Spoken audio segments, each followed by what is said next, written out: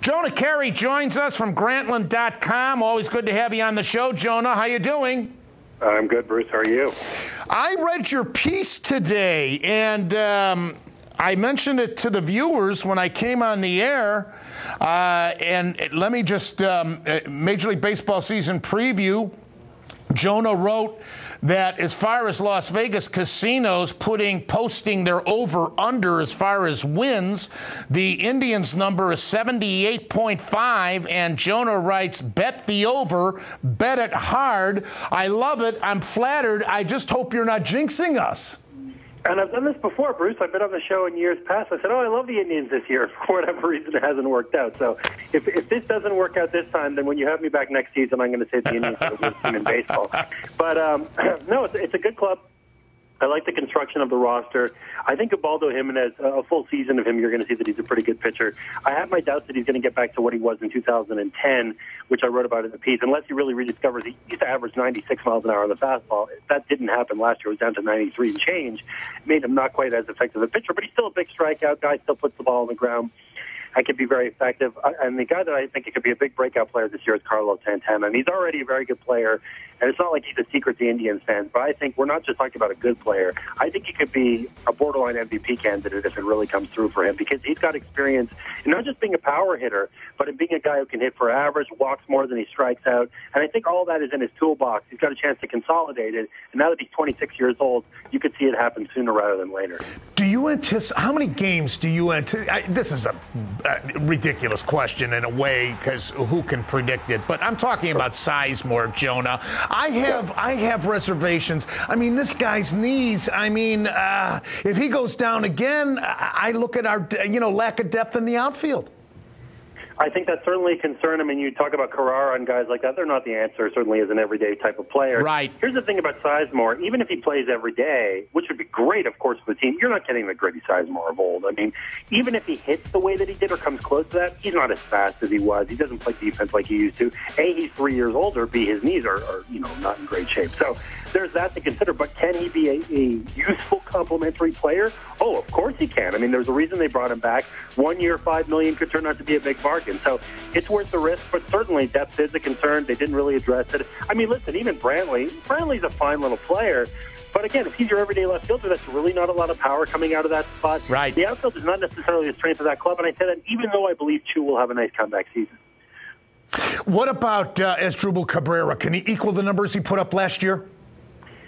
Uh, it's possible. I mean, you know, obviously you hit 25 home runs, you put yourself on the map to some extent. You know, there, in certain ways he can consolidate some of those games too. We talked about Santana and he put up the power numbers, but he hit 239 and so forth. Uh, Cabrera wasn't a great on base guy last year, and a funny thing happens when you start hitting 25 home runs. Pitchers are going to pitch you more carefully, and if you are able, if you are wired that way, you can become more selective. Maybe that means more walks, which can raise, you, raise your on base, and maybe that means you just get better pitches, pitches to potentially drive if you're willing to be patient too. So it's in front of him. Like again, another young guy. We're talking mid 20s, so there's the potential to do as well, or maybe even improve.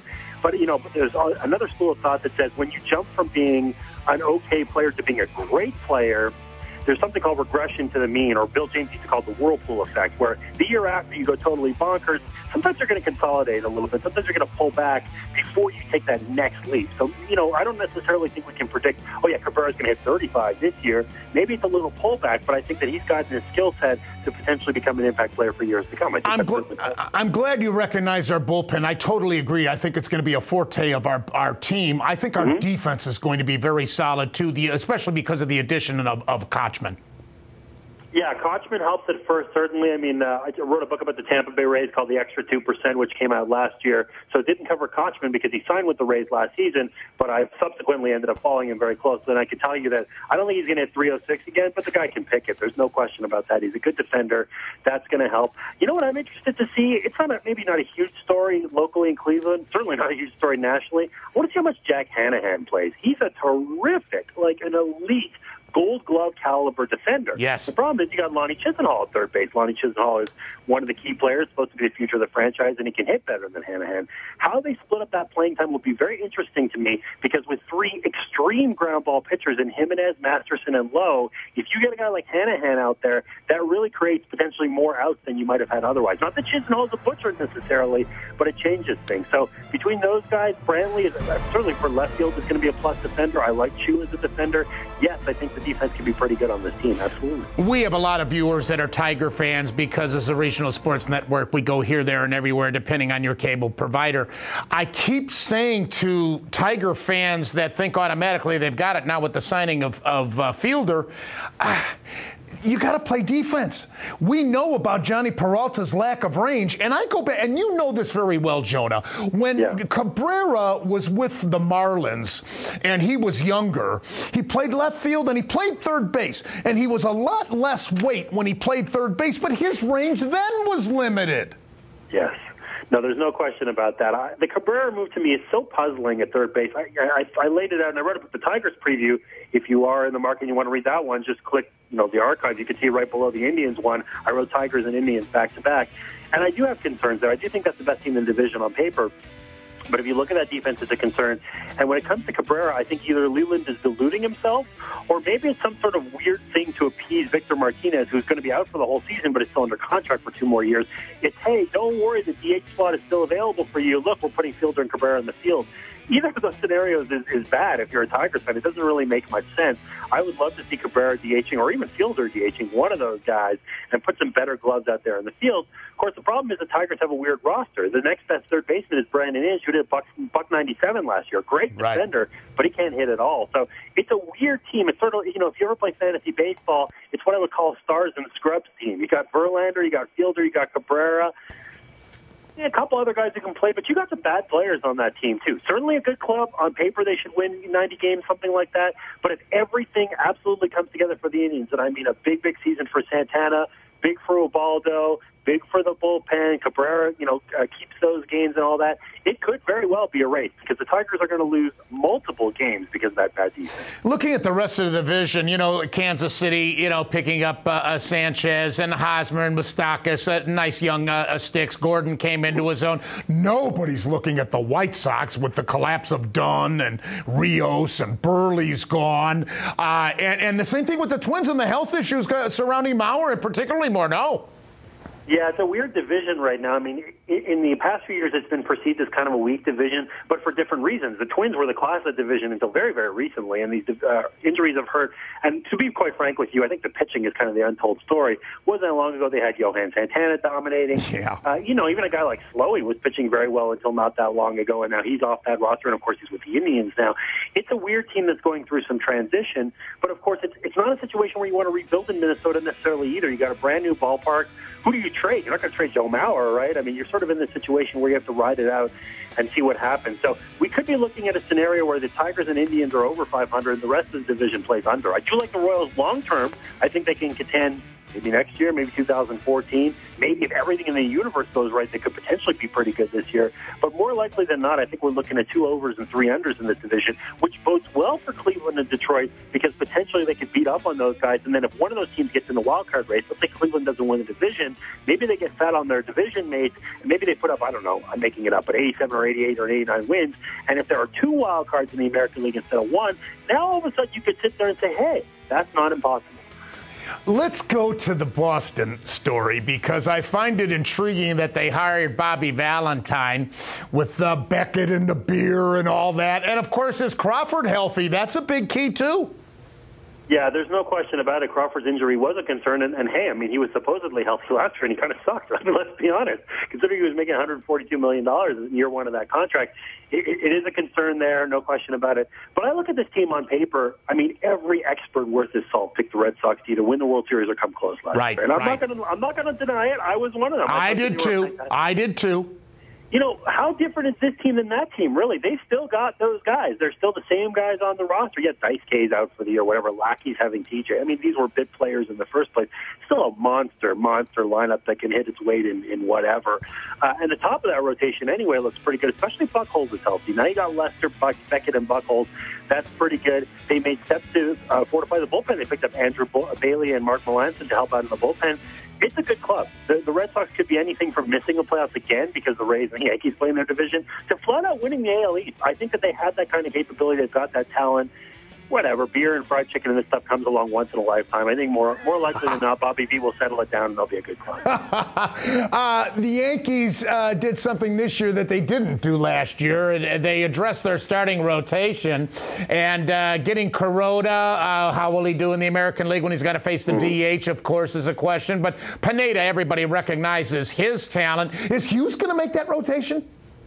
Yeah, he might. I mean, I like Freddie. I liked Freddie when they signed. I didn't like. I didn't think Colon would be as good as he was, but I liked Freddie when they signed him. I thought that he would be a, a useful pitcher on that staff, and he was. And, and I don't see any reason to not use him as an asset. I mean, there are all kinds of things they could do with Hughes. You know, be it a shutdown seventh inning guy to to whatever. And the fact of the matter is, Bruce when was the last time a starting rotation went through the season and only five guys pitched? It never ever happened. Right. If you want to talk about the Yankees, the Rays had the scenario, right? Matt Moore is maybe the best pitching prospect on the planet. Who knows if he has a job? I mean, that's how deep that rotation is.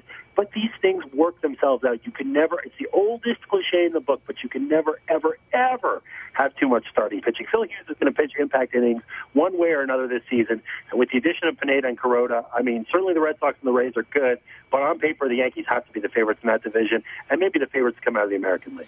Obviously, the talk of the winter meetings when it started was what the new Miami Marlins uh, were doing with Reyes and Heath Bell. There was so much talk about them getting Pujols as well. Turns out the Angels, by the end of the winter meetings, were the team that made the most impact. But Jonah, I came on the air and I said, despite getting Pujols, despite getting Wilson, despite having a rotation that also consists of Weaver and Haren and if Ervin Santana clicks, I still think Texas is the team to beat. How about you? I totally agree. I love Texas. I think Yu Darvish is a fantastic pitcher who's going to prove it at the major league level. And I'll tell you something, the rest of that rotation does not get enough acclaim. People look at CJ Wilson, and before that, of course, Cliff Lee left, and they thought, oh, the rotation is not going to be good. And they are good. Nobody knows about Derek Holland. They're on TV. I mean, you're watching them in the World Series, but somehow Derek Holland doesn't get any recognition, and neither does Matt Harrison. I mean, these are good, young, left-handed starters who are only going to get better. That's a deep rotation. It's a deep bullpen. I don't need to tell you about the offense. That's low loaded up and down. Mike Napoli, my God, what an addition that was to that yeah. team. It's a it's a great ball club. If you look at the American again, we're we're now the what the third of February. We still still this is like my my crusade. We still don't know how many wild cards we're going to have this year. That's the dumbest thing I've ever heard. But let's say we have two. Let's go through the American League for a second. In each of the Yankees, Red Sox, and Rays, I think all three of those teams are going to win 90 plus games. You got the Tigers in the Central. They're probably going to win 90 plus games. Maybe the Indians are in the mix. Maybe they're not. The Rangers are going to win 90 plus games.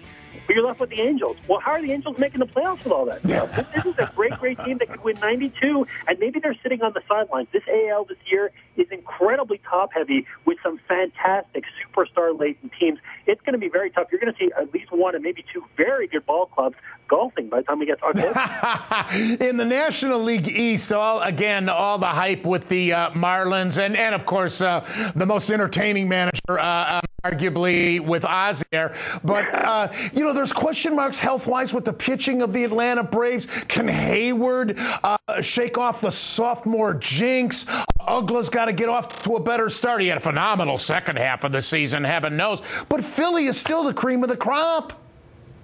Well, I'm going to start with the Braves only because I have a. I'm going to go intellectual on you for 10 seconds. Okay, so there's a term, uh, there's a part of Japan called Okinawa, very beautiful. And in Okinawa, they have a special kind of diet. It's called the Hara Hachibu diet. What is Hara Hachibu? It means you eat until you're 80% full and then you stop no matter what. The Braves are the Hara Hachibu of Major League Baseball. They build a roster until they're 80% full and then they stop. And it drives me freaking bonkers. I don't know why they do this. I don't know if it's because they're, you know, Liberty Media, which is the corporate corporate owner refuses to go over a certain dollar amount. I don't know if it's because of, of whatever management, but there's something about this team. They won't get that one more player that they need. They're an 85, 86, 87 win ball club for the last few years now since the dynasty ended, but they can't quite make that one more move. And I look at them and I think, well, maybe they'd be a wild card team, but now the Marlins are improved. The Nationals are going to get pretty good yes. pretty soon. Yes. And you still have the Phillies. So it's a weird division. I, I'm I'm ready to anoint the Braves because I like that pitching. They've got more young pitching coming. I think Heyward does have a bounce back season. I love Brian McCann, one of the underrated players in all right. baseball. But I look at the team and I say 86, 87, you know, and the Phillies might be 90, 91, and the Marlins might be 86, 87 too. So it, it's that kind of division. I don't think the Phillies are going to necessarily run away and win 100 plus this year because of the Howard injury, because they don't have Oswalt, because some of those other guys are a year older. But I think, yeah, and on paper at least they have to be considered the best team in the division. Not a super monster team, but at least the best team on paper in the NL. Central Division looks weak to me. St. Louis could indeed repeat even without La Russa and without Pujols. Oh, I totally agree. I love what they did this offseason. If they're not going to sign Pujols, let's go get $26 million. I mean, that's a bargain by today's market. There's no question about it. If he it. can stay healthy, Jonah. If he can stay healthy, great season last year, Bruce. He was right. probably worth about I don't know, 15 or 20 million on paper last year. He's right. a great player. You talk about David Freese. If that's a true breakout in the playoffs, now you're dealing with a serious bat. Allen Craig, same story. Big playoff breakout. If that if he carries that forward, even though he's got an injury, that's a serious bat. And I love that starting rotation. They lose Pujols. They didn't have Adam Wainwright for 10 right. seconds right. last year. Adam Wainwright goes in that rotation with Garcia and Carpenter and all those guys. They're good. Shelby Miller, one of the top five pitching prospects in baseball. He's standing by in case something goes wrong. Very good team. I'll tell you something. You say the division is weak. I would say that it's more split. I like the the, the uh, Cardinals. I think the Reds are very good. They uh, address their pitching needs with Sean Marshall and Ryan Madson and Matt Latos. That was all very good. And even the Brewers, even without Fielder, maybe Braun suspended 50 games. They got Aramis Ramirez, and I really like their pitching staff. The Brewers could be one of the top five run prevention teams in terms of pitching and defense in all of baseball this year. I think that if they win, it's not Harvey's wall bangers anymore. It's going to be pitching. Those three teams all have at least some shot in that position. How come the Cubs weren't more active in improving their roster? I don't think it makes sense right now. I think it, let's say they went after Fielder. So what? Do they move up from a 75 win team to an 80 win team? I don't, I don't think that makes much sense. I think that you have to be a little bit more patient and understand the only impact player that's on the roster. Well, maybe there's two. Is Matt Garza is one on the pitching staff, and Starlin Castro. That's about it. So they they did upgrade the roster in some ways. They got guys like David DeJesus who are good complementary players, but it doesn't make sense to break the bank at this point. I like actually what Jed Hoyer and Theo Epstein are doing. And heck, the Cubs have waited 100 plus years. Wait two or three more because some of those prospects will come up. I think they'll make good moves. And listen, Theo didn't win a World Series year one in Boston either. It takes a little bit of time. It takes a little bit of building. But I like the direction they're going. I, I like the fact not every, all 30 teams can be aggressive. If there was one team that it made sense to your powder dry for a bit, I actually think the Cubs might have been the, the one. Can Arizona repeat? And of course, they pick up Cahill to go along with Hudson and uh, Kennedy. Uh, uh, but you still have to look at that San Francisco starting rotation. Obviously, I think it's the most wide open division in all of baseball. I moved to Denver a few weeks ago, and nobody's talking about the Colorado Rockies, just like nobody talked about them the first time they won that division or the second time they won that division. I think this is a pretty good club. I think the Rockies could surprise. You have trouble naming three Rockies starting pitchers, but so what? That's always the way with that team. They always have one or two guys you know, and somebody who comes out of nowhere, that's fine. Tulo and Carlos Gonzalez, uh, they're still star players, obviously. They've got good complementary players. I think Dexter Fowler's going to have a nice breakthrough year. I look at that division. I could see the Rockies winning it. I could see the Diamondbacks winning it. And yeah, I could see the Giants winning it. And you want to talk about the Hara Hachibu. What are the Giants doing this offseason? Yeah, They've right. got this great pitching. They've got no hitting, and they did not address it. They didn't go out and get well, anybody. but but the only thing I would say to that, Jonah, if Yeah. Melky Cabrera's coming out party last year was any indication, uh, eh, they, they look upon it that way. Well, I don't know. I'm not He had a great year. He had a great year, Jonah. He, oh, he absolutely had a great year. And you know what? Uh, Joe Charboneau once had a great year, too. And so did Bob Hamelin and Pat Listach. That You doesn't mean kill all me. that much. if, we're going, if we're going way back in the day in Indians history. So, uh, look, Melky's a fine addition. I don't dispute that. I like Gary Brown. He's a pretty good outfield prospect. But gosh, they could have done something. Shortstop is going to be a black hole. They're going to lose other positions. Their best hope right now is Buster Posey comes back and just becomes an MVP right out of the chute after that big injury. Because if that happens, then I might have to eat my words, no question. Are we going to see you down in the desert? Uh, yeah, I am going to be in the desert. I'm going to be actually talking to Chris Anthony while I'm down there. I'm working on a book about the uh, Montreal Expos, which comes out in a couple of years, and he used to work in that organization. So we have got an interview lined up. I'll be covering them. I'll be covering all the teams, Reds, Angels. Uh, yeah, so I'll be spending a week or two down in uh, Arizona. Very much looking forward. All right. Hopefully we can latch up down there. Always a pleasure, Jonah. Thank you, Bruce. Jonah Keri, he writes for Grantland.com. He's one of the best baseball writers in the country.